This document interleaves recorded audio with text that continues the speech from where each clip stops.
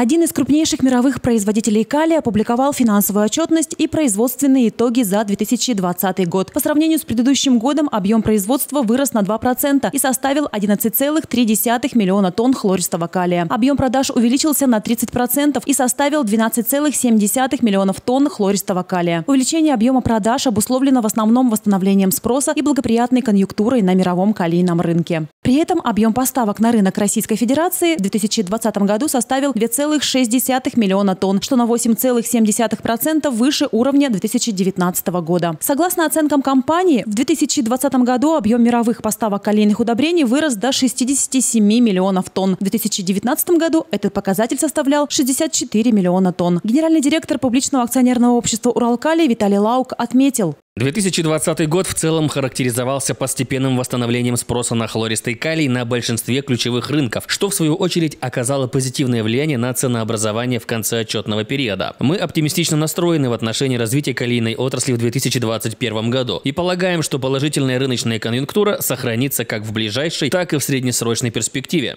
Ожидается, что по итогам 2021 года мировой спрос на калий сохранится на высоком уровне. Объем поставок может вырасти до 68-69 миллионов тонн.